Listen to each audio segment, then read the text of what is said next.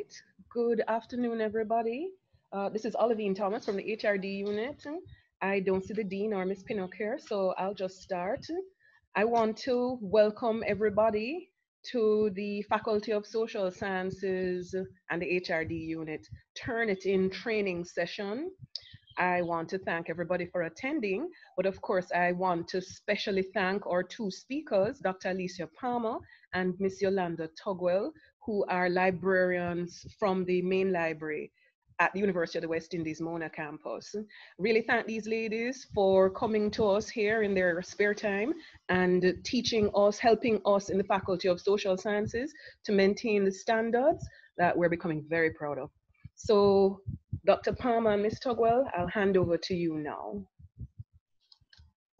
Thank you, Ms. Thomas. Good afternoon, everyone. As was said earlier, we're from the Mona Library, and this evening we'll be sharing with you some of the features of Turnitin. So Turnitin has been touted as a plagiarism detection software, and we'll talk a little bit more about that in a minute. For this session, there are several things we'll be looking at. We'll touch a little bit on UWI Mona's plagiarism policy. We'll go into how a lecturer can create an account. We'll also look at adding a course, uploading the assignments for students, and we'll talk a little bit more about how students can upload assignments themselves. We'll look at the originality reports, as well as how we go about interpreting these reports. And of course, we also want to talk about the types of documents that you can upload to Turnitin. So let's uh, really begin. So UWI's definition of plagiarism is a very comprehensive one, and it basically talks about the various ways that we can plagiarize. So for example, not acknowledging the words or works of others. Uh, and this can mean anything as simple as paraphrasing somebody's work, but it's done in a cosmetic way. It's also using diagrams and opinions that belong to someone else, but without proper attribution. All right, so those are examples of plagiarism as defined by the UWI. Now, you can also plagiarize your own work. So, for example, if you if you had submitted or written something before and you represent this new work as if it was never done before, or you quote from this new work without actually citing that this was something that was published or written or created by you before, that's also an example of plagiarism. So we want to be very careful about that. Now, what exactly is Turnitin? Turnitin is a software that has been around um, since 1997. It's a software that, that was created by an American company. And the aim of the software is to basically provide you with enough information to make the determination about whether or not plagiarism has occurred. Now, it's important to note that Turnitin does not tell you that by looking at an individual's um, sample of work that plagiarism has not has occurred. What Turnitin will do is provide you with what we call like a similarity index, which says X percentage of this information is from a specific source, and Turnitin will provide you with details on that source. So it's always going to be up to the instructor to determine, based on the definitions that we have of what plagiarism entails, if plagiarism has occurred. So Turnitin will never tell you that this work has been plagiarized, but it will show you the index of how many similarities have been found in this bit of documentation or this paper that has been um, submitted. I want to make very clear that actually using the Turnitin um, software, it's, it's not very difficult to use it looks very overwhelming because there's a lot of information available, but I just want to make you aware that it's something that is pretty easy to use. And as we go through, at the end of this session, it is our hope that we can at least log in to Turnitin and kind of show you what it looks from the instructor's standpoint or the lecturer's standpoint. And we'll talk a little bit as well about the student's um, perspective of Turnitin. So the most important thing when using Turnitin is to ensure that you have an account. For lectures at the UWI, one of the ways that you get access to Turnitin is by getting your credentials from MITS. And I'll share with you in a moment um, the contact details that you will need to request this information. Now, there are three types of accounts that can be created on Turnitin. There's a student account, the teaching assistant account, and what is called an instructor account. So these accounts are the three basic types of account, and for our purposes, we're looking at the student and the instructor account. Now, it must be noted that a student account does not exist independent of the instructor's account. What this means is that in order for a student to get access to Turnitin, it is the lecturer who has to send out this information. And we'll talk a little bit more about that in a moment. Now, to join Turnitin as an instructor, as I hinted at before, you will need to contact the Turnitin administrator um, at UWI. And for our purposes, this administrator can be reached at elearning at uwimona.edu.jm. Once you have made this contact, you'll write an email stating that I would like to get access to UWI's Turnitin account. And what will happen is that the administrator will um, provide you with an instruction email that tells you exactly what to do in order to set up um, your account. Now, you'll get this information that says um, check your email, and the subject line should show um, your Turnitin instructor account. You're going to click on the Get Started button, and the instructions are very intuitive because it will tell you what you need to do to set up, in essence, what is considered your account um, your account page. Now, once in your, your, your email, you will see the caption, create your Turnitin account. You'll follow the link that has been provided. You'll create a password and this password will be of your choosing. But what is important is that you must have a password that is not easily accessible, so typically between 6 to 12 um, characters in length, and you want to make sure that um, no one is able to access your account very quickly. And that's as simple as, um, that's a simple process of getting into Turnitin, Turnitin in your Turnitin account. Now, this is essentially what you will see. This is what you're seeing on your screen is the login um, page for Turnitin. Now, this login page, you will put in your email address and your password that you created um, previously. And this is if you had a Turnitin account before. But if you don't have a Turnitin account, then what you will do is you'll click on the new user icon. And if you notice, right beside the new user icon, you will see click here. You'll click on that link and it will take you into signing up for Turnitin. And of course, you use the credentials that you were provided by the, the university's Turnitin administrator. Now, one of the main reasons we are using Turnitin is because we want to be able to check our students' work to ensure that we can make the determination of whether or not they have plagiarized. In order to do this, we need to create what is called a class in Turnitin. Once you log into your account, and I'll show you um, as soon as I'm done going through this presentation, what you'll see is an add class button, and this will allow you to start creating a class. Once that has been done, you're going to create a new class page, and a class name and enrollment key will be entered you will choose what your class name is and you will choose what your enrollment key is. Now, the class name can be your um, class that you're teaching. You decide if you want to use the exact name of the class, a shortened version, of the class's name, and then you will choose an enrollment key.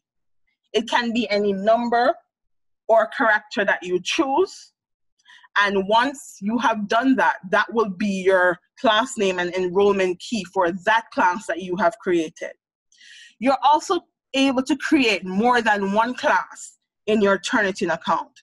So say, for example, you're teaching three or four uh, different classes and you want content or information or assignments that have been submitted, you want them submitted to that specific class, then you will create a Turnitin class for those submissions.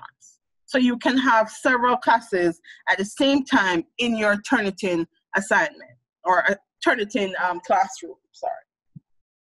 Now, it's important to note that each class has a start date and an end date.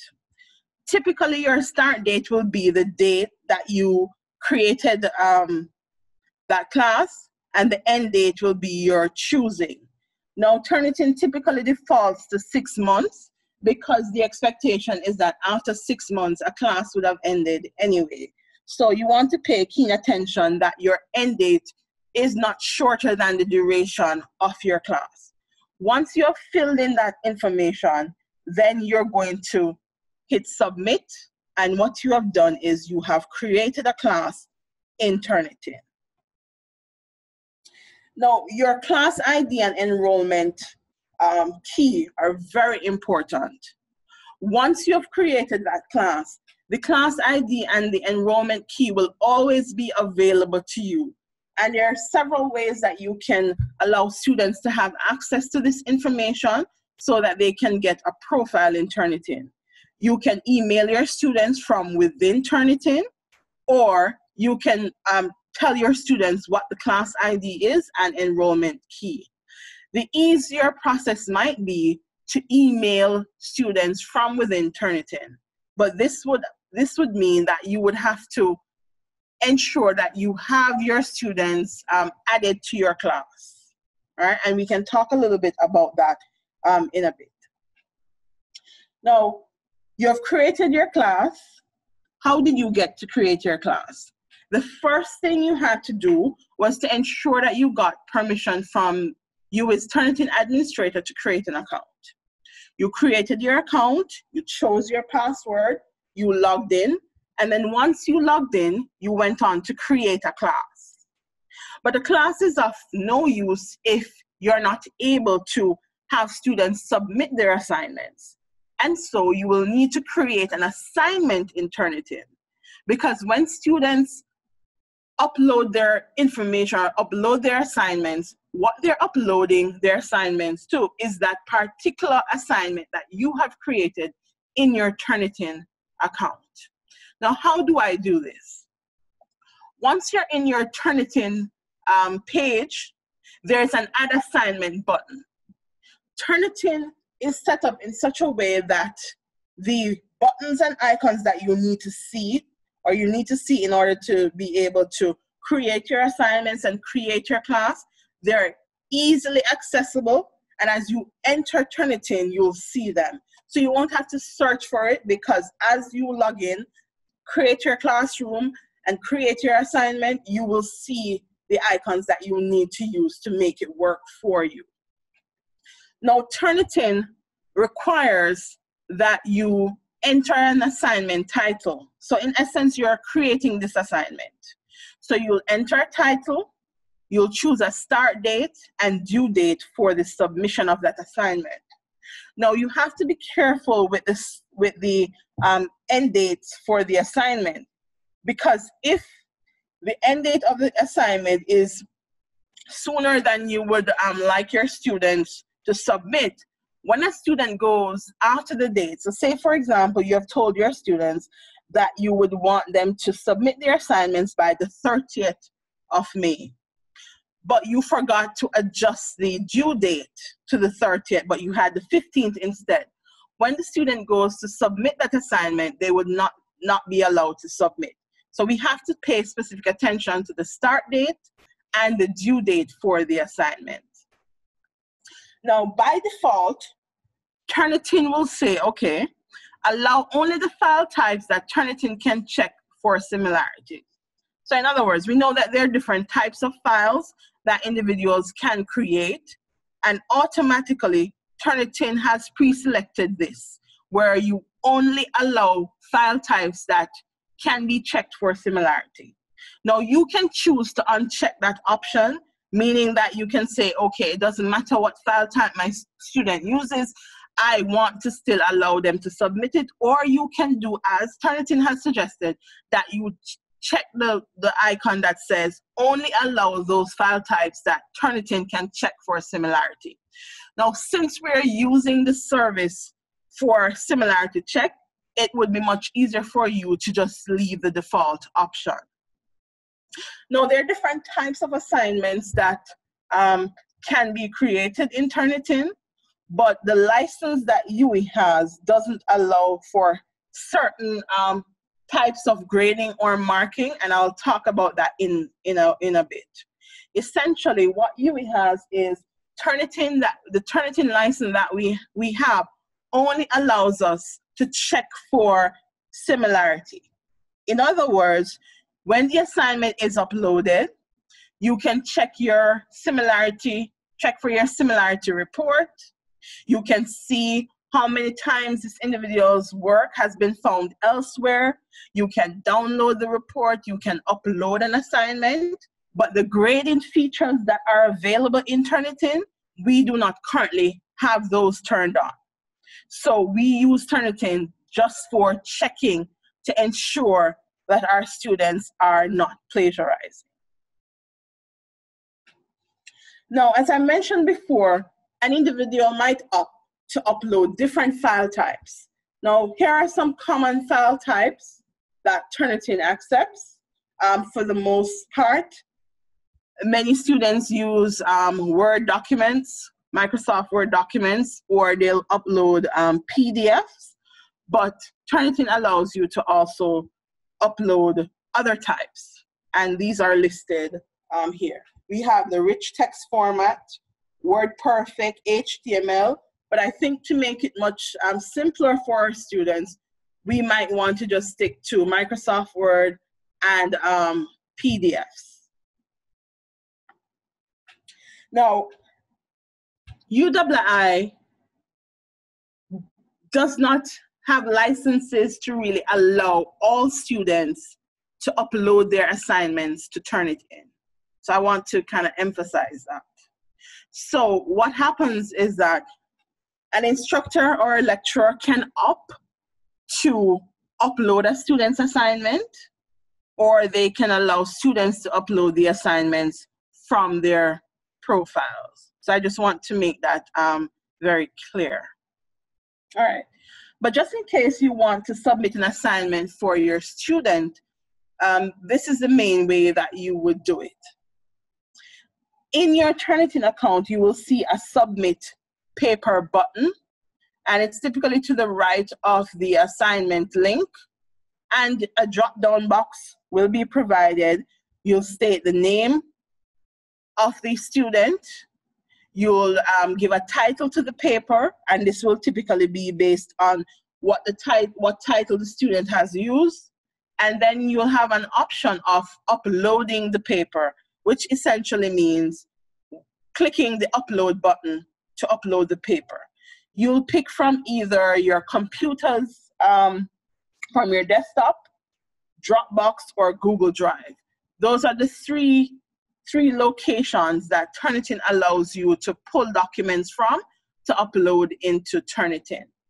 Dropbox, your computer, and Google Drive. And for the most part, um, that's pretty easy to access. Everything is a drop down menu and you'll see the options. So for example, for Google Drive, you'll see an icon with Google Drive and it will allow you to click on it and it will open Google Drive on your computer. The same goes for Dropbox if you have a Dropbox account. Um, in no way are you being advised to get a Dropbox account or get a Google Drive account. Um, you can upload the material or the assignment from your computer. That's perfectly acceptable. Once you're finished, click the upload button and you have uploaded um, the paper. Now I know you might have questions about, do I get a receipt when I upload? If an instructor or lecturer decides to upload a paper for a student, every time you upload a paper, Turnitin provides you with a receipt. There are two ways that you can access that receipt. You can highlight or um, you can copy the receipt and save it, or you can go back to the assignment icon and click download. So there are different ways that you can get access to that receipt. So if, for example, you chose to upload an assignment for a student and you're wondering, how do I give this student a receipt? Turnitin does provide you with a receipt. And it's as simple as copy and pasting the content and emailing it to your student. And you can email from within Turnitin or you can download the receipt. Similarly, when students upload a Turnitin document, to, a document to Turnitin, sorry, they also get an, a, a receipt. And that receipt can be submitted to their lecturer to show that they actually did um, submit their assignment through Turnitin. All right. Now, Turnitin has what is called a feedback studio. Now, the feedback studio has several features that are available for use. What we checked, what we realized when we were preparing um, for this session was that many of these features are not accessible to us because the grading feature, we do not have a license for that. So we have included this information just to let you know about the range of options that are available um, within Turnitin and the feedback studio is one of them. So you will have access to the feedback studio, but you'll basically be using the feedback studio only for looking at the similarity reports. So once an assignment is uploaded, you will be placed in the feedback studio. It's just that the grading aspect of the feedback studio is not accessible to us here at UWI.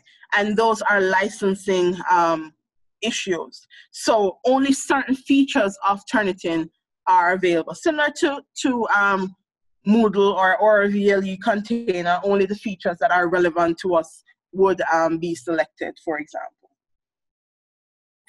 Now, you're wondering what is the originality check? Now, the originality check is basically the process that Turnitin uses to check information that has been submitted or papers that have been submitted against publicly accessible files. So imagine uploading a document to Turnitin. Once it is uploaded, after a few moments, it doesn't happen automatically. It takes uh, uh, some time and you'll have to refresh. What you'll find is that Turnitin will check this document against other sources of information that's available. So for example, it will check journals, it will check documents that have been submitted to other universities. Um, it will check documents that have been submitted to Turnitin. And when we talk about documents that have been submitted to other universities, we're talking about their use of Turnitin. So if their students submit a paper and for some reason, and I we hope our students won't do that, but um, one of our students happens to have submitted the same paper, Turnitin will pick that up. It will flag it as being something that has been taken from another source. And it will tell you the percentage of the information that comes from that source. Turnitin also gives you the option to contact that institution. The only drawback is that if you make a request to see the document that the student has such a large um, similarity similarity um, percentage from, Turnitin won't show you that document. What they will do is they will make a request on your behalf stating that you would like to have access to that documentation. And then once it is available, if it's made available, then um, they will inform you of that.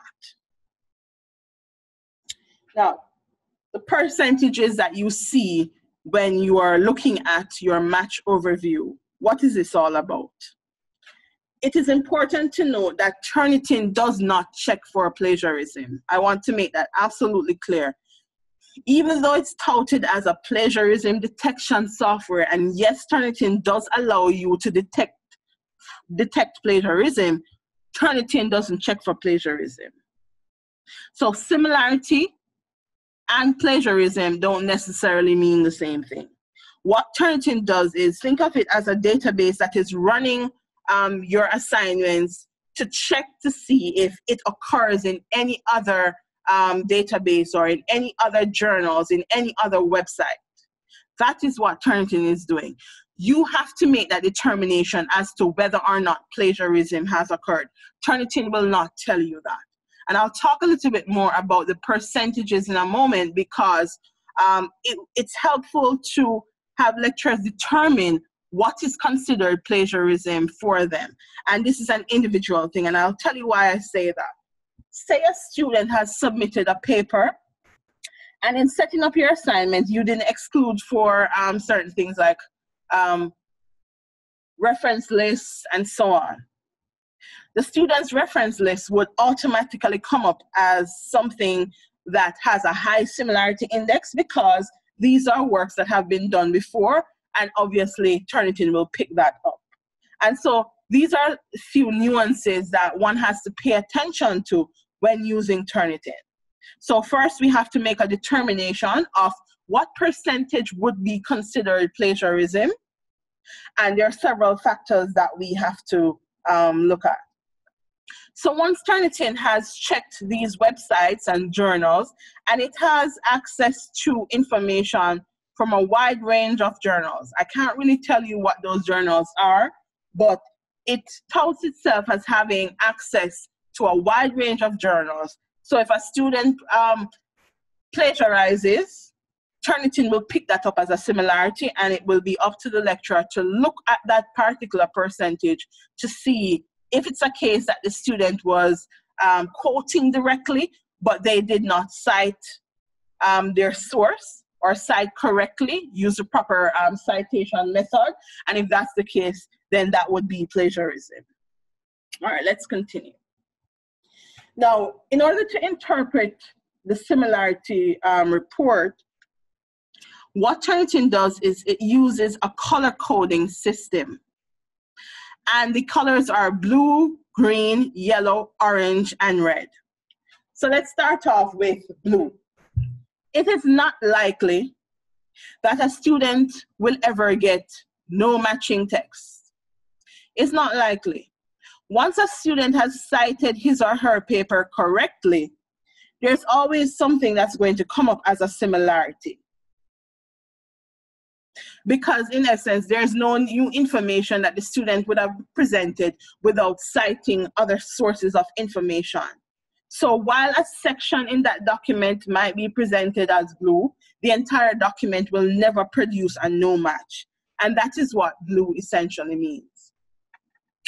Some individuals have said that if a student's assignment ranges from one word to 24% in terms of matching text, that means that the student has not plagiarized. One can argue that by being within the zero or the one word to 49% range, you could pretty much be safe and say that the student has a, a high likelihood of not plagiarizing. But the issue with that is that in order to make that determination, you would need to look at the text itself to see where these high percentages are coming from. You can't say that because a student only gets a 24% matching text that the student has not plagiarized. So what will happen is that you will need to look at the text itself to see is it a reference that the person is coming up with this 24% match? Is it a series of references? Is it that the person has copied and pasted information from a source? Is it that um, the person has copied wholesale information from somewhere else? You won't know until you look at the information. Turnitin will not interpret that for you. You will need to make that determination. Say a student has a 50% matching text in one section of a paper. But when the lecturer looks at the paper, they realize that the person was, the student was doing what is called a direct quotation or the direct quote. And it happened to be a direct quote, quote from a source, and they quoted it correctly and so on. But this particular example would show that the student has not plagiarized because they have cited the work correctly. Would you then say that because the person had a 50 to 74% match, that they have plagiarized? One would have to double check the entire paper to see what else is coming up as something that has not been correctly cited. Because if, a student has not um, cited the work correctly or cited any at all, that is plagiarism. And so that determination has to be made by the lecturer. Now, the red zone, the red matching text, 75% to 100%. One could safely surmise that such a high index would mean that plagiarism has occurred. Because if you're seeing a 100% um, matching index coming up for a student, right there, that's a red flag. I don't think you would even need to go and look any further because it would mean that there's no original information in this paper and all of this paper has been previously submitted before. So you one would want to send that student to the drawing board. But again, it would kind of be in our best interest to double check to see what is going on um, within that paper. So just to recap, to be safe, the blue and green zones are typically okay, but we still need to check the information. It's less likely that the student would have plagiarized. Um, even accidental plagiarism is still plagiarism. The yellow to red, the yellow to red zones, we need to be extra careful and double check to see where these similarity matches are occurring. Again, Turnitin will not tell you that your student has um, plagiarized. All right, let's look at some examples. Now, every student is unique um, in terms of the interpretation um, of their work. So what do I mean by this? A student could have submitted a paper to your class before in the past, and it was submitted to Turnitin. But if they had their name on the submission, it is possible that if the lecturer, when setting up the assignment, does not include for small matches, so say, for example, you could say you're giving your students 20 words or 10 words that could actually come up that have been used before. What would happen is that Turnitin would exclude these 10 words or these 10 matches, so the student's name would not show up as um, being similar. So in this case, to fix this issue, excluding five words, for example, would safely exclude a student's name from being highlighted in their similarity report. Now, Turnitin will not um, view simple words like at, it, but those small words as being um, words that are, are similar and likely to have been plagiarized. It won't, it won't look at those words. It's going to be looking at direct or exact phrases that have been used for the similarity index to be populated. Now, another example might be a student has um, submitted Turnitin. We know we have some of our students who are kind of worried about their assignments, and so they submit three or four times. This again could result in a 100% um, score, which in essence, the lecturer wouldn't have to look at the paper again. They would probably say, oh, this is 100%, there's no way the student has not plagiarized.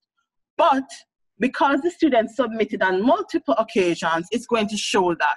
And so what would likely happen is that um, the lecturer could exclude the previous submissions, or you could delete the submissions that have been um, done before and leave um, only one submission and then rerun that report so that you don't get that 100% um, similarity.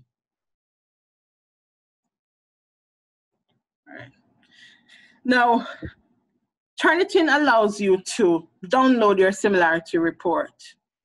As I said before, pretty much everything in Turnitin, the icons are easily accessible and it will show you what you need to do to be able to um, download the information. But here's a quick run through. Once you open a submission, it opens in the feedback um, studio area and there's a an icon which is basically a down arrow and what it will do is once you click on it, it will allow you to download the similarity um, report. Now, in terms of um, what the report will entail, the report will tell you what is the percentage of the similarity that has occurred in this assignment, right? And it will also show you the color codes and you, com- you can compare it to the rest of the document and it will allow you to kind of match the rest of the paper to see what is going on. Again, um, Turnitin provides a very simple document that shows you, okay, here's the percentage um, of similarity that has occurred, and the lecturer has to make that determination as to what um, plagiarism means for this particular paper. An 87% similarity index or 87% similarity means that the lecturer will have to look at that paper keenly. And it is extremely likely that a student has plagiarized if you have such a high index. But again, Turnitin will not tell you that your student has plagiarized. That is a determination that you will have to make in terms of what percentage would be considered um, plagiarism. And you can click on each source um, that has been considered too similar or the similarity index comes up for. Now, let's look at this example of what is called a match overview. In shortened form, the match overview tells you, one, the sources of information um, that have produced a similarity index. It also gives you a color code, and it also tells you the percentage. Now, if you look to the left of the match overview box, you'll see a few icons. Now, I, in this example, you will see what looks like a paper and a pen, and that would allow you to kind of allow for grading and making comments. Again, that grade feature is not in our um, Turnitin license, and so even though it's showing up here, when you go into Turnitin, some of those features would not show up. So the areas that would be of interest to you would be um, the match overview with the percentages and the options to download the paper. And at the bottom, just below 43, that is where you will see that option to download your similarity um, report. Now, you can click on the numerical similarity score from the similarity toolbar. And what it does is once you click on it, you will see the text highlighted and you can also get more information as to where that text comes from. Turnitin is very good in terms of telling you the source of information. And if you need to get more information to access that document that the, the similarity is based on, you can also get that information. Now I have here an example of a paper that has been submitted. I found that Turnitin did not have um, very good examples of a paper that highlighted the different colors and so on in terms of what the percentages mean. And so I wanted to show this example. Now, in this paper, there's a 58% match in terms of similarity. All right? So one would look at the various sources first to see if these are sources of information that our students should even be citing information from as well as to determine why is our student having such a high similarity um, index from the document. Now, in this particular case, the student apparently wrote verbatim um, words that were taken from another source, and so it is showing up um, this in our similarity or match overview um, on the right of the document. So if you notice, there are no quotation marks um, for, for the most part, except for one small segment of the paper. And even though the student used quotation marks for, an, for a segment, they did not use any sources of information at all. And so this is li- it's likely that the student has um, plagiarized or taken information directly or stolen information from another source of information. Because once you have not cited this information, what you have done is you have stolen this information from somewhere else. And again, you always want to check your match um, index to see what is going on with that specific um, similarity. All right. I've talked a bit about the match breakdown. Um, the match breakdown is pretty simple. It tells you where the source is from. Where is this information coming from? And what percentage of this paper is from this source? Now, um, in this particular example, the student would have got information from wikipedia.org. Um, one would have to determine has the student cited this information correctly?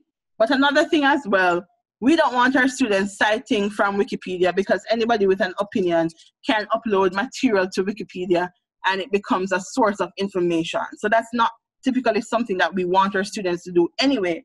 So even if that student had quoted that information or cited that information um, perfectly, it would still be information that we'd probably want to tell our students to exclude um, because that is not the, that is not an appropriate source for us to be citing credible information, what we consider to be um, credible information. All right, again, let's look at this example. What you're seeing on your screen is what is called a, a source box. And what it is, is that it appears on the paper and it reveals the source of the information. And this is just a more specific example of um, the student getting information from wikipedia.org and this source box is just providing you with that information. You can click on it and it will take you directly um, to the source. So in a nutshell, those are the basic areas of Turnitin. So before I go on to log into Turnitin itself, if there are any questions, I can take a few of those questions and then I'm going to attempt to show you a practical example of logging into Turnitin and um, creating an assignment. I just had a, a small question. I just wanted you to confirm for me that you said you could, so one lecturer who teaches two or three courses can have two or three classes simultaneously in Turnitin. Yes, you can, because what you're doing is um, you're creating a class. So there's an, yes, there's an clear. option. Sorry, go ahead. No, I was just saying I wasn't clear. It, it sounded as if like you had to create a big class and then create some subclasses. Is that how it worked? No, it's it's not really um, a subclass. So what happens is when you log into Turnitin, you're going to see the University of the um, West Indies. So that's the institution. And then you're going to go in and you're going to create a class. But there's also the option to create other classes. So if I have a class called Educational Technology, for example, my educational technology students can submit their assignments to that because I'd send them the credentials and the information for that. But then I could also create an assignment um, or create a class for another group of students that would have another name. Are you understanding what I'm saying? I am hoping I'll see it when you're doing the, the demonstration. But we do have some other questions. Um, Enid Bessemer is asking, what about quotations from newspapers? Are those acceptable? Um, and I thought I saw another one. Can I, okay. can I, or should I put up my hand? Well, um, Dr. Palmer, what, um, what about the newspapers? Are those acceptable? So newspapers can be an acceptable source of information. It, it depends on what type of newspaper. Um, so for example, in our Jamaican context, um, if you look at the Gleaner versus the Star, the Gleaner or the Observer would probably be considered a more credible source of information, whereas the Star would not necessarily be so. But that's not really a Turnitin, um, that's not really a Turnitin question. That's more a sources of information question. Okay. But yes, yeah, newspapers can be used. It depends on the credibility of the newspaper. All right, I see Denny. Denny right, can I? question. And I see Trevor Smith. Okay. Denny, what about you? Good, yeah, good evening, everybody.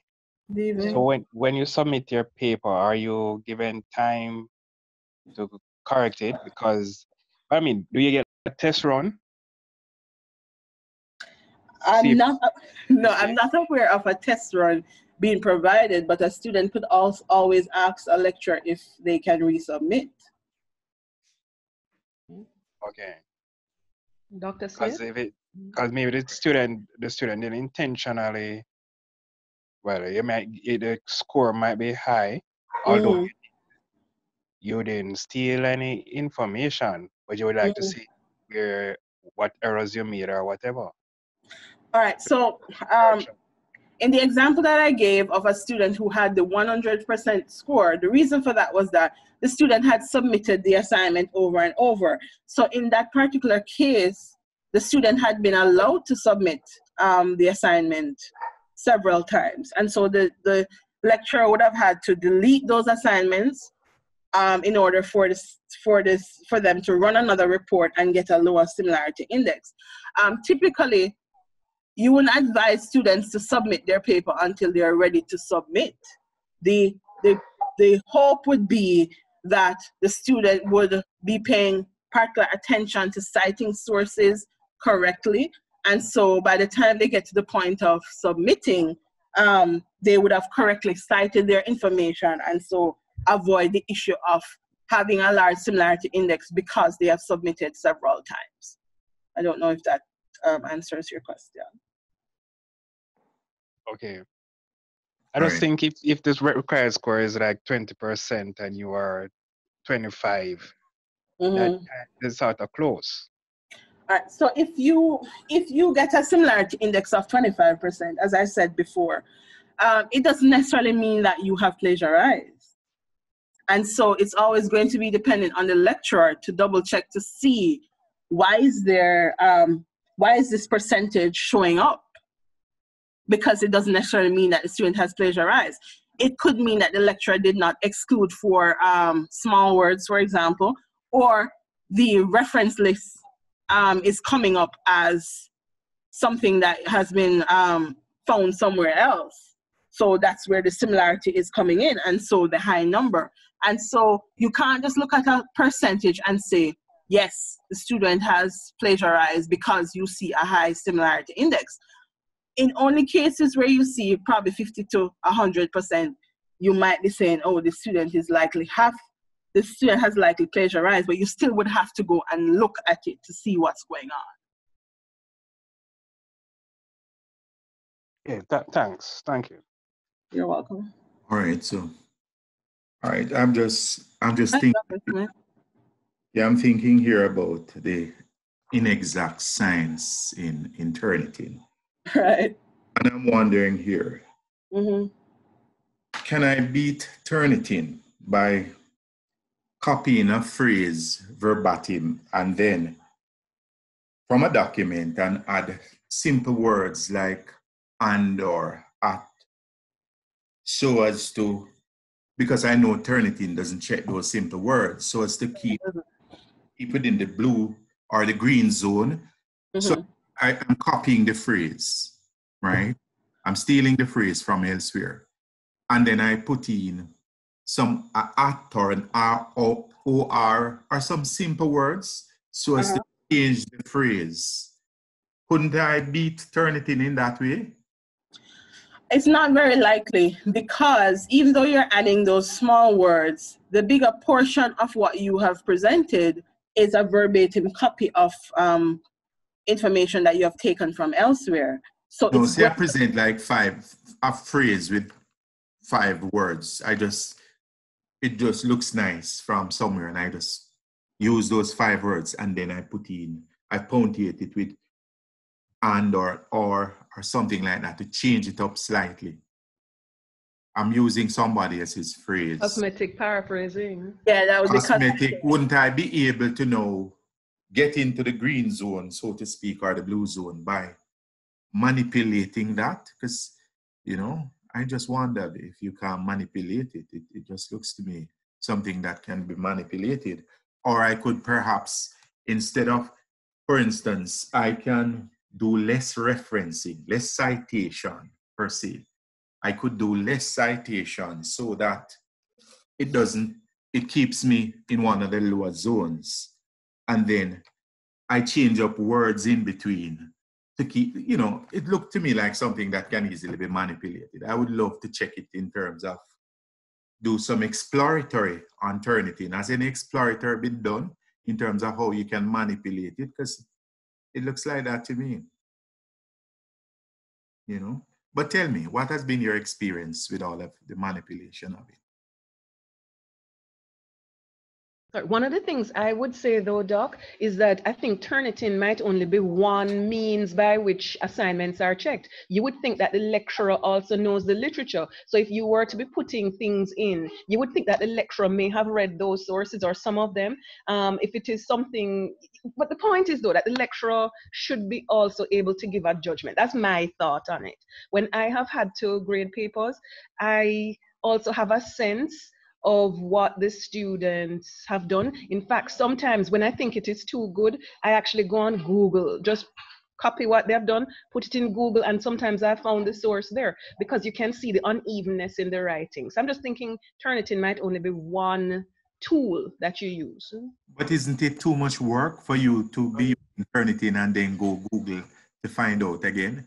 Isn't it too much work for the lecturers? Boy, Doc, I think it's for me the lesser of the two evils. Olivine. No, I was just saying that I think for me it's less of two evils. Um, Rohan is saying something. Rohan has something to add to that. Yeah. So to the point that that Doc is is is questioning. So what I've actually seen is if the person puts the and and simple words like those, because when the result comes, it brings us it brings back a string so take, for example, it may read an entire sentence or an entire paragraph, and uh, those words that are changed, the and and stuff, may not necessarily appear, but when you look at, at an entire sentence appears, so you will also recognize that, hmm, these were the things that they did change in in the text. If you see what, if you follow what I'm saying. Yeah, I'm understanding, you know. Right. So you will pick up, if it's a, a two sentences, you will see a particular sequence that there is the same thing, but you'll also identify that, hmm, the word uh, and was changed to something else, or another word was changed to something else. But in looking at the entire string, you will see the similarity there. Mm-hmm, mm-hmm. And it, I'm that's, just, that's how I usually. That's it how I. Could be, it, it could be very onerous on the part of the lecturer because if you have to be doing that kind of forensic type of assessment to make sure after having gone through the software, particularly in the case like us in Mona School where we have large numbers in terms of our classes and so, it becomes a bit much. Yeah, just... I've, not, I've not had to go to, to the extent that Olivine explained there in terms of looking back, you know, in another search engine. But within Turnitin itself, as I say, you can see a particular pattern. So it picks up an entire sentence, an entire paragraph, two sentences, three sentences, yes. and then can show if a word or two, or probably say two, three words in a line were were were changed. Right. And notably, I see where you can drop the reference list at the so as to again to keep you your score within the green zone, you know, dropping reference list and so forth. So as to I yeah because percentages. because I've seen I've seen that the reference list could be correct, but mm. then if it's a widely sourced piece of reference, it will it will come up, it will be flagged, and it may increase that that that score that you know percentages yes yeah yeah mm-hmm. All right Dr. Martin Hall, is there a size limit to the document that can be submitted in Turnitin? And Franklin Wap is asking whether students quoting the lecturer is that credible? So quoting their lecture notes, not necessarily some published work. Well, Olivine, well, Dr. Palmer, for the last, I, I don't know how to answer the, the, the first question, but for the last question, based on what I've seen using APA, it allows for it. So even probably Turnitin picks up that it may be the lecture note or personal note from the student. Some of that is taken into consideration or should be taken into consideration based on citation style.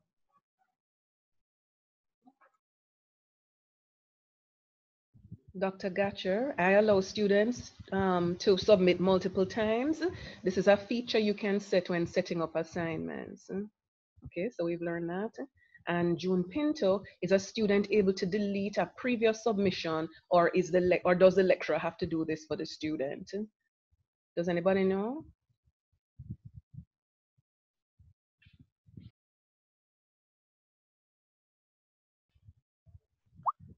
Doc?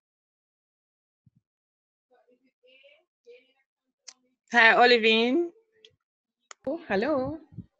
This is not dark, of course. Uh-huh. Um, having used it as a student, I recognize that when you're using it, when you're submitting, it allows you only one time to do so. It, as far as I know, depending on how the lecturer sets it. Um, so sometimes I think you've been uh, you are asked to double check if everything is okay before you do so. But as it relates to when you're getting out of the zones, I think between blue and green, it allows you the opportunity to see where you may have plagiarized, whether deliberately or otherwise. So even if you change some, put in some words like is and not and so on, it tends not to accept it. So in my case, I've had to actually reword the whole thing.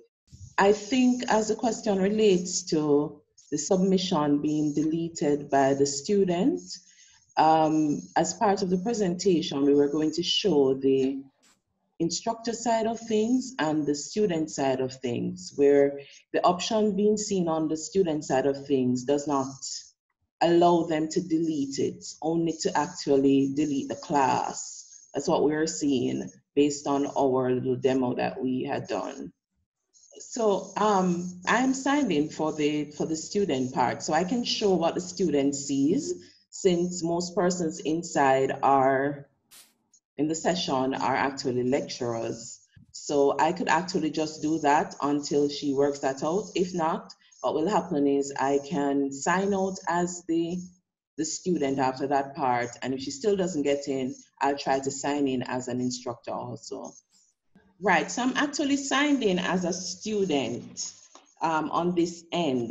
But what had happened was um, Dr. Palmer and I, she had actually sent me uh, an invite and she she added me to her actual course and um, what usually happens is the student will receive a welcome message and they're able to actually set up their account so with the password and the actual setup at the end and they'll receive messages as they go along so it's pretty easy but you must have a class so the first part of it that Dr. Palmer should have done, would that, would, that will do, she'll do if she gets to come back on, has to do with the fact that um, she has to create the class. So once she creates the class, the class is there for the student. She can offer to give the student the enrollment key as was indicated in the presentation, as well as the class ID. So if you notice from my screen, you're seeing my screen, right? Hello? Yes, yes, we are. Right. So on this side here, you notice that, so this was a class, the educational technology. And um, of course, we have an instructor um, email there. And um, this is a class ID that would have been supplied by the lecturer. So you have the option when you log in as a lecturer to actually give the send the students emails so you're able to send the students the class ID and the enrollment key, right? Other than that, you can actually add them in the in the in the in the container. Now from there, what happens is once they have been set up in the account, they have the option of actually seeing the tabs here. So all my classes, I'm only enrolled for one class, so it's only one class that is there. A question was asked earlier about whether you have to create sub classes. No, each class has its individual identity because when you're setting up, you choose the, you, you choose the actual password.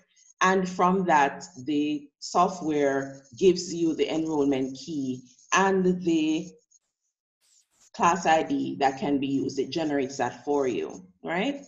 If you want to, the student has the option to of enrolling in the class. So if you see the tabs at the top left-hand corner there, they have the option of clicking on that that says enroll in the class. So here's where they would actually put in the class ID and the enrollment key there and submit, all right?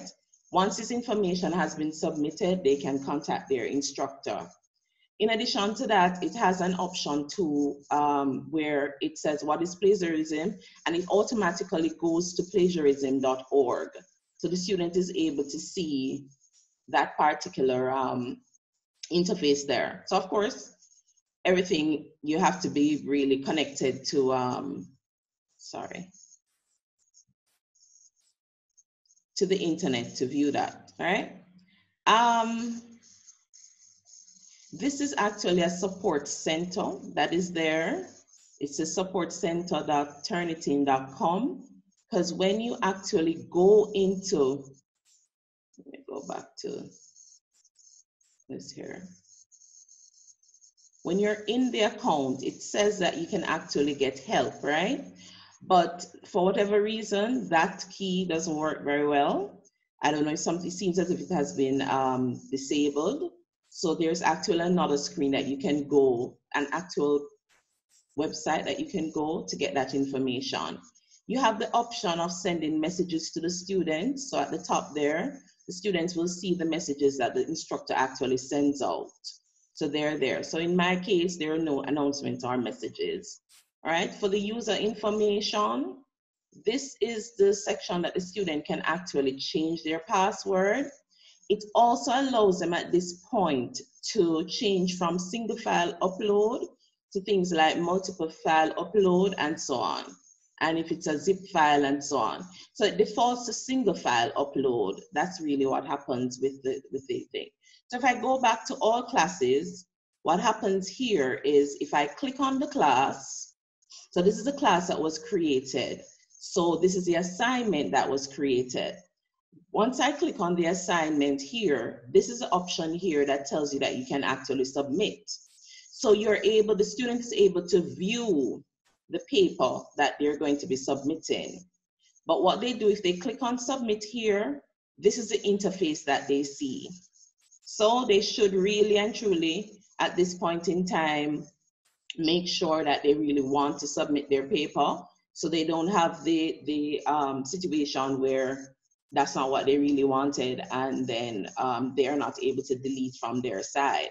So the options are there to choose the file from your computer, to choose from Dropbox, or to choose from the Google Drive, right? Um, if I go back here. I have a question. Yes. The, the submit you're referring to there right now and from the student end, is that submit to the lecture or as yes, submit to the class. Turnitin for review. Submit to the class. Because based on the discussion thus far, from what I recall, you would have at least uh, one submission uh, per 24 hour period. Um, right. So you could have submitted it to Turnitin, get the review, say the similarity that was required was 10%, you, you realize it's 15, and then you can go back, probably rephrase, edit, whatever the case may be, and resubmit within a next 24 hour cycle and get a different um, similarity index before you actually submit to the lecturer. But when you go to submit, it would mean that um, I think you can only, the lecturer, if you submit, you're submitting for Turnitin to give you that report, the similarity report, based on what we understand from our end. And um, it is the lecturer now if you want to do, if you end up not wanting that one, you would have to contact the lecturer to be able to remove that particular um, paper. there are no options here apart from dropping the class as far as we are seeing on our end. But if you if you submit multiple times, doesn't it? it, it it's so so in Dr. Palmer's presentation, um, she pointed out that if the student submits similar um, multiple times, what will happen is that it's going to end up giving you a hundred percent because it's seen that particular paper in the database already. So the previous submissions would have to be deleted by the lecturer so that only the current submission would be viewed by Turnitin. Therefore, based on what you're saying, there's no option for the student to interact with Turnitin multiple times prior to submission to the lecture. Not that we are seeing on this end.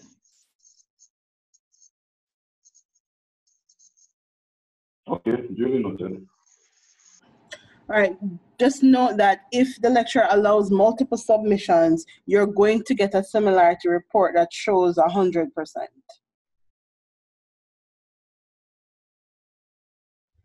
I thought that there was something about saving to Turnitin and that you got the 100% if you saved, but if you didn't save the document, then it would not show up in the percentages.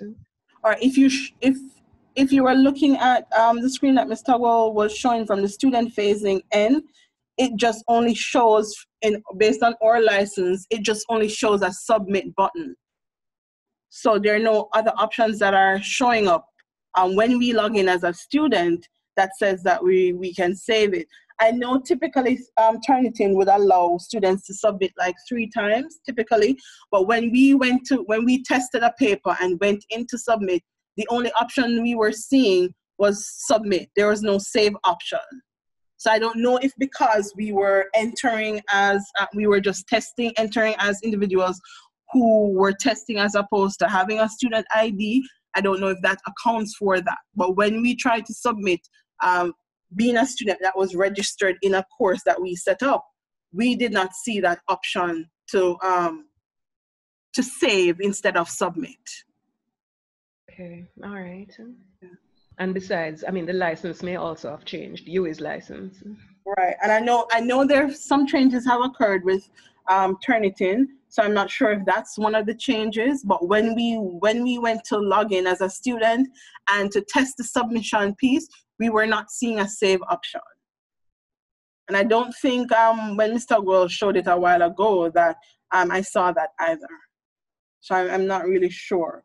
But I know typically Turnitin would have allowed um, three submissions and then you'd have to wait 24 hours. I know the fact that a student can get a 100% because they have previously submitted documentation, it would be because the lecturer has allowed them to submit more than once, which would then trigger the 100 um, percent in terms of the similarity index. But in terms of saving the document, the assignment instead of um, submitting it. We were not seeing that when we logged in as students. Okay, thanks. Yeah. All right, so I'm going to log in um, from the lecturer's point of view. I'm hoping that you're able to see my screen.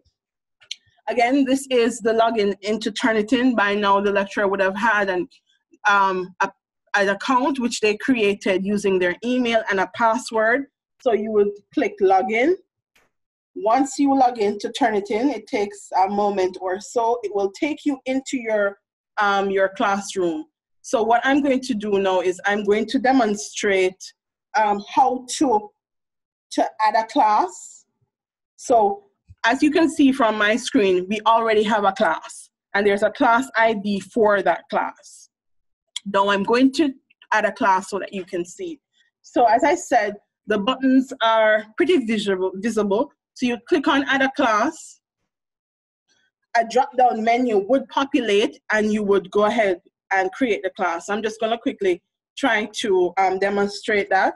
So I'm gonna create a class called test. I'm going to use an enrollment key of just zeros. Then I'm gonna choose my subject area.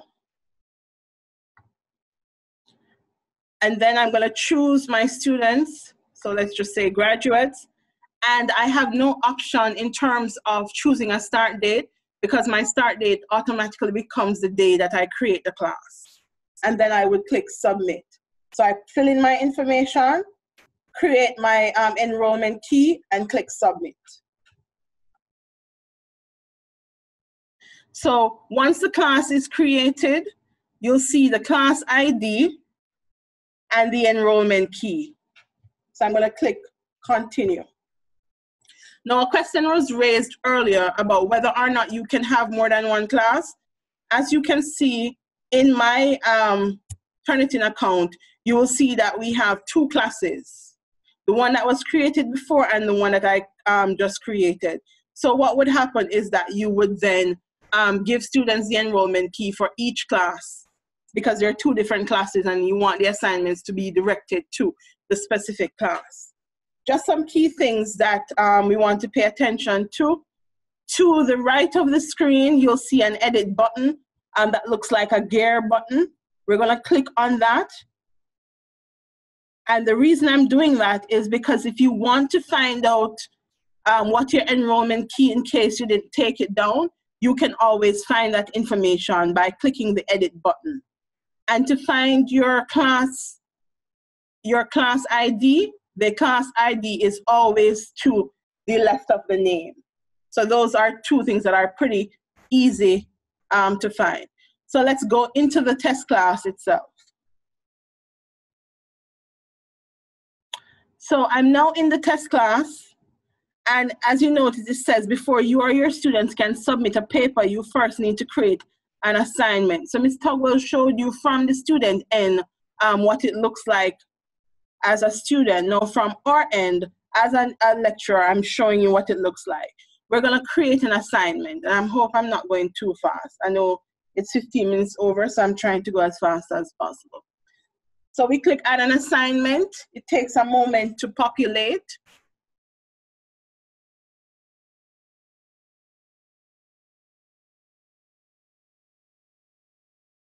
And so while it populates, um, by then you would have had an idea of what type of assignment you want to create. So we're creating a test assignment. So let's call our assignment test. I, my start date is the 8th. I can actually change the start date for the assignment. So it's not the date that I create the assignment that is the start date. Um, that's the, the case only when you create a class. So I could change my start date to any, any time all right?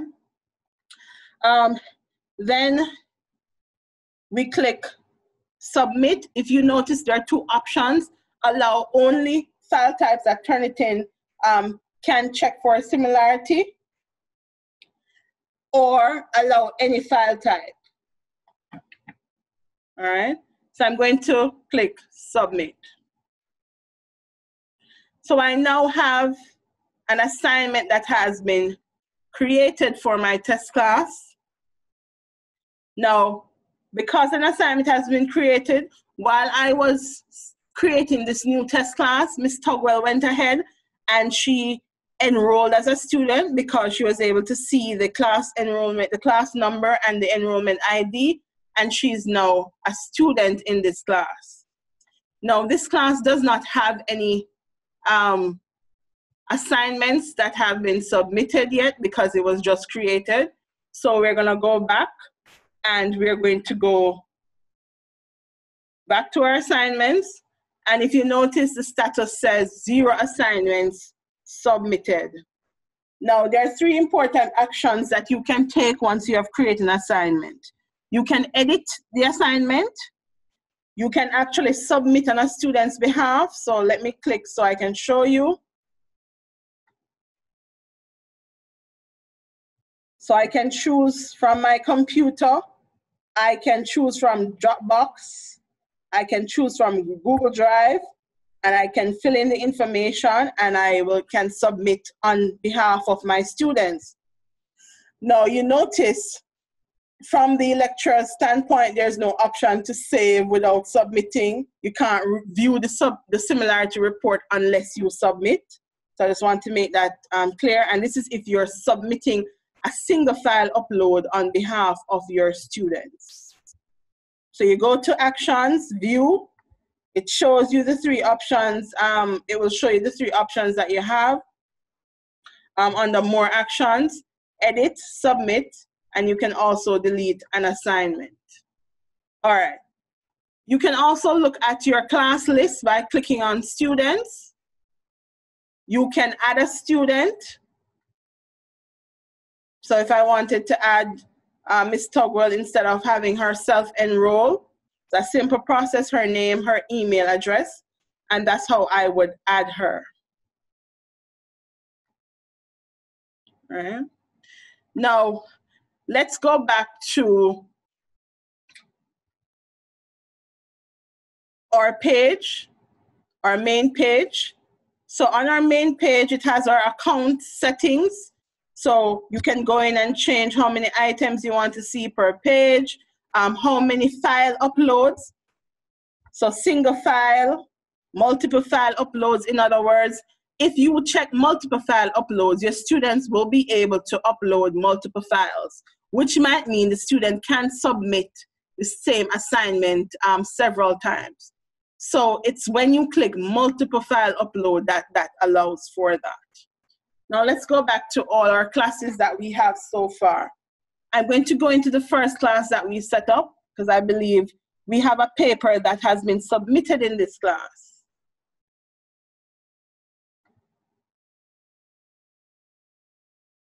So a test paper was submitted and I'm going to click on it. So it shows you what the workflow looks like when you are in. So for this test scenario, we, we submitted a copy of the Turnitin Instructor's Manual from UWI. What it is in essence is um, the Turnitin information that's available, UWI made a version for UWI. It's basically the same thing.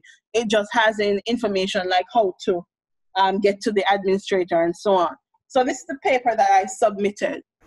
Now, to the right is my match overview. Let me do it again.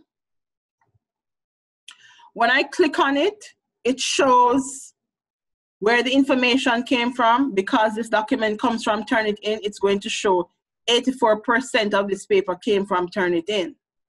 It also shows that this paper was submitted to the University of the West Indies. And the reason it's probably showing that is because it was submitted in this class. If, for example, I wanted to um, download my similarity report, I click on the download arrow. And here are the options. I can print my, I can download my digital receipt because Turnitin provides a receipt for every upload that you have. I can download my original original um, originally submitted um, file as well. So to get our receipt, we click on the download arrow, click on the digital receipt, we can download the original paper. But what if I want to download, what if I want to um, download other documents? And I'll get to that in a moment. Now, what I've clicked on is um, the similarity index for all the sources that have come up in this paper. And so in, as you can see, Turnitin provides you with a solution to how, as to how to address um, this particular issue. All right. So it will say, um, this is what you can do. And it gives you an example of when a student has submitted a paper in the past and what you can do. So it does provide you with examples of um, how you can fix the problem. Again, in this paper, it shows the paper was submitted to graduate studies, uh, a postgraduate school rather. It was submitted to a university, and Turnitin goes and gives you other um, places that it has been submitted. All right. And so that's um, your originality report.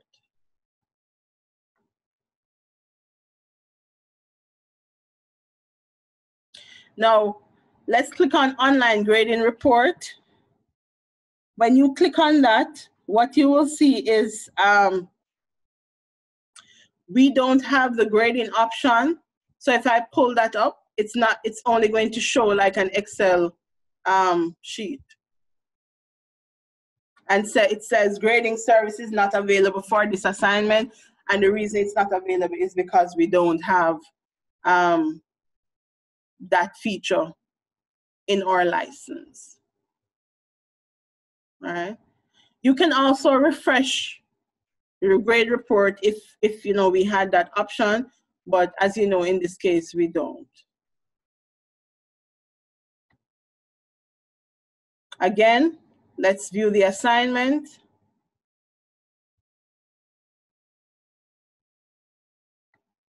Um, let's download it.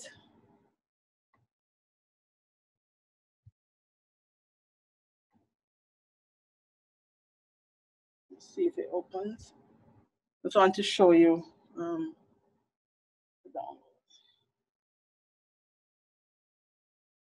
So as you can see, with practice, um, you'll become very versed at using um, Turnitin.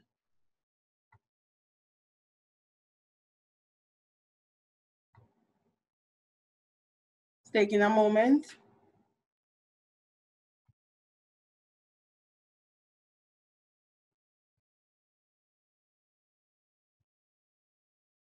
Okay.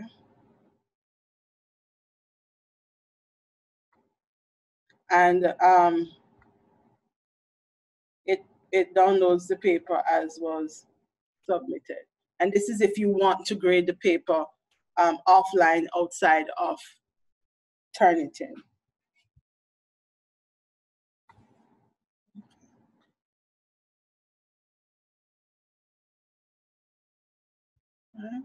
You can also opt to hide the similarity layers if you have already made a determination as to what you want to do um, with your students. Now, somebody has asked if there's, if you can set your personal acceptable similarity level. Um, we don't see an option for setting that within Turnitin, but I think as a lecturer, you can determine what percentage you would accept as um, not being plagiarism. So you could make, you could essentially make that um, Turnitin, that um, determination, but but you would not be able to input that that percentage in Turnitin. So in other words, you wouldn't be able to say to Turnitin, okay, if a student has 24%, um, they have not plagiarized. That would have to be a personal determination that um, you can you have made. We can take um, one more question and then we have to go. We have kind of gone um, over the time.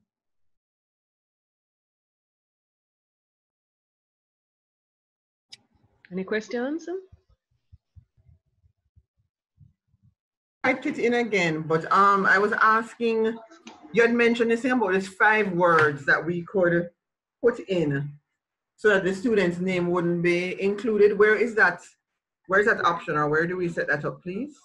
All right, so when you're um, setting up the assignment itself, let's see if we can go, let's go back to the assignment. One moment, please. Thanks.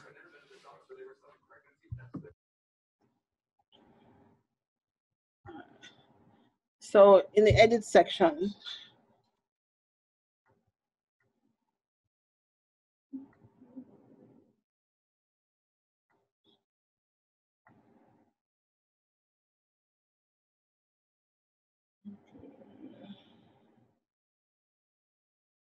All right, so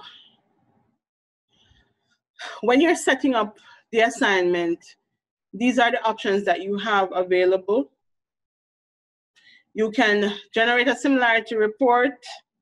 You can exclude quoted materials from the similarity index for all papers in your assignment. So in other words, once a student has a quotation in their paper, you can tell Turnitin to, to ignore that. So the quotation would not come up in the percentages. Now, when you're grading the paper itself or when you're looking over the paper itself, that's when you would um, click on um, how many words you want to exclude. So let's go back to the paper. That's one option.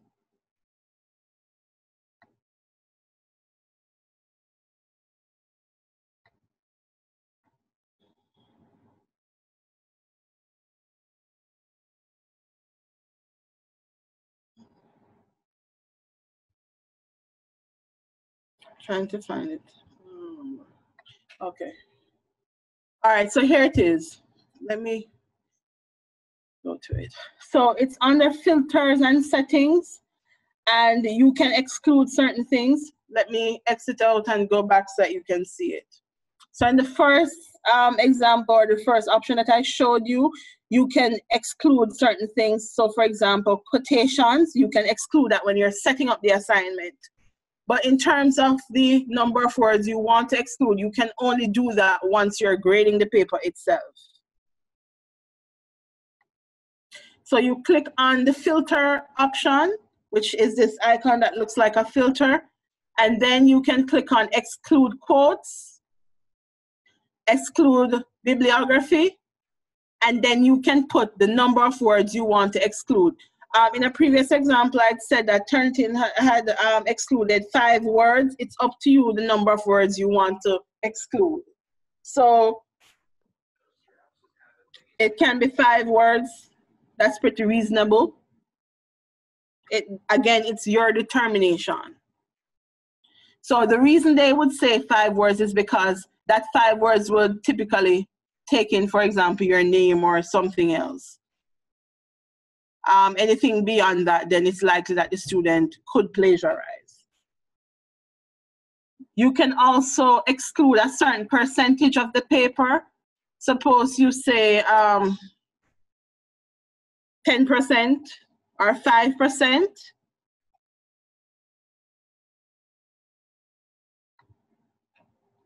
And then you can apply your changes.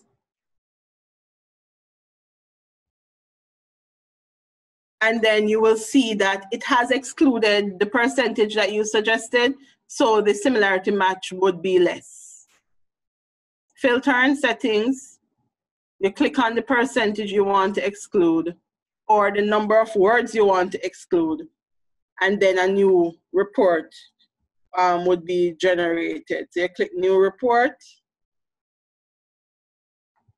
you refresh it and a new report would be created. Um,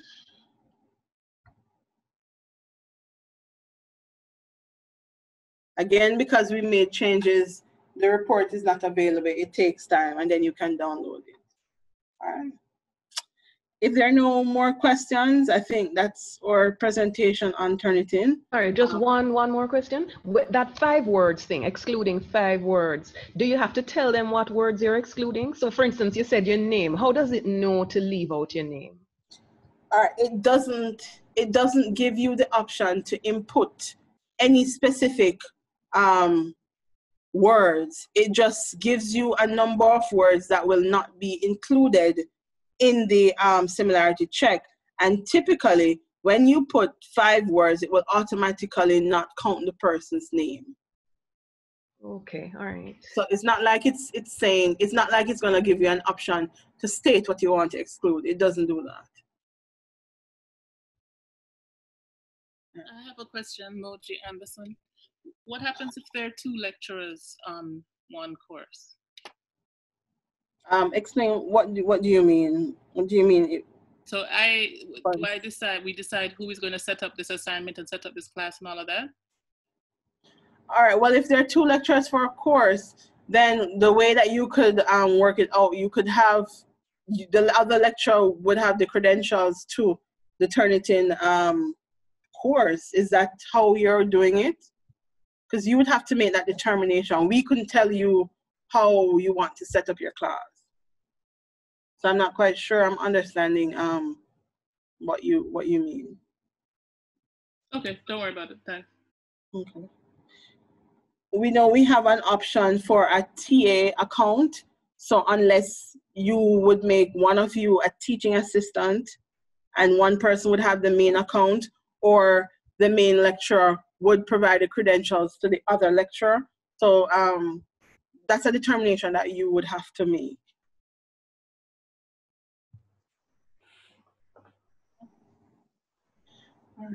Well, I hope um, you'll be. Sorry, I have a very basic question, um, Michael Barnett here. Um, now, to my knowledge, just to get start get access to the Turnitin account that UWI has, we're supposed to be sent a, an email from MITS e-learning. Is that is that correct?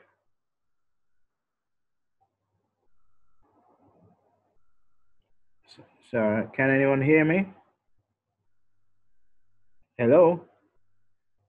Yes, we're hearing you, Doc. Okay, so all right, I just want to know. What I was saying is is that to to to set up my Turnitin account, um, you know, maybe I've gotten the wrong end of the stick, but I thought that we had to do this through MITS. I sent a, a request to them a couple of weeks back.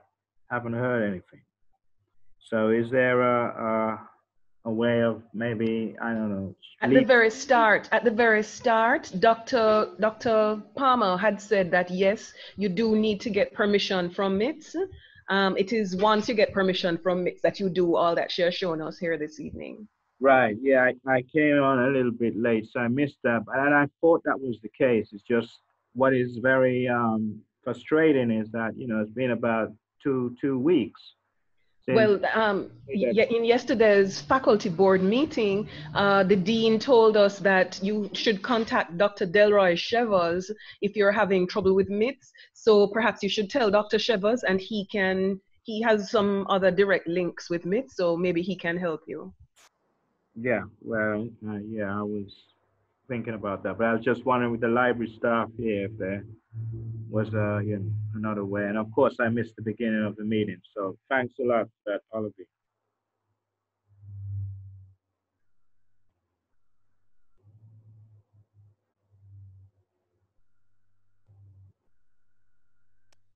Can students pre-submit their work to check themselves?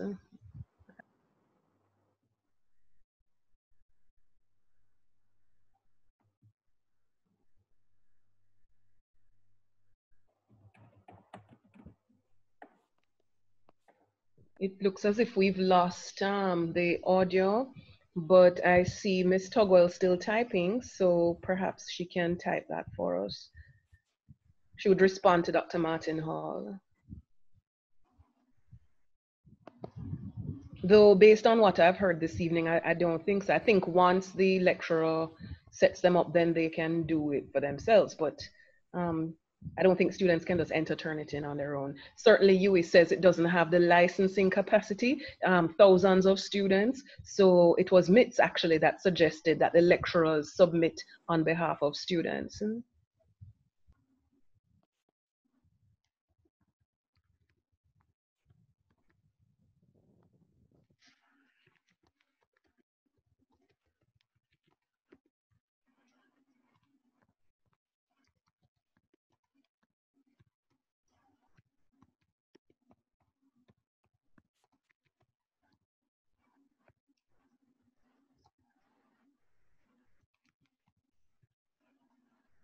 All right, um, Ms. Tugwell just responded to Dr. Martin Hall. Can students pre-submit their work to check themselves? She said they will have to be, they will need to be enrolled in order to submit.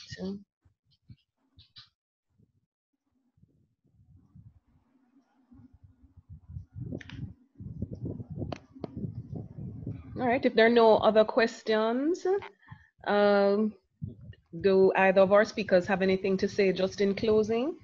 But if not, then I would just thank everybody.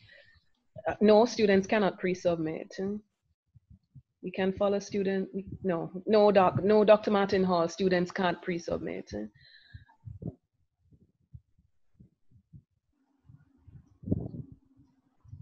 All right, um, we're kind of falling apart here. So I just want to thank Dr. Palmer and Ms. Tugwell for coming here and for helping us in the Faculty of Social Sciences to understand the Turnitin a little bit better.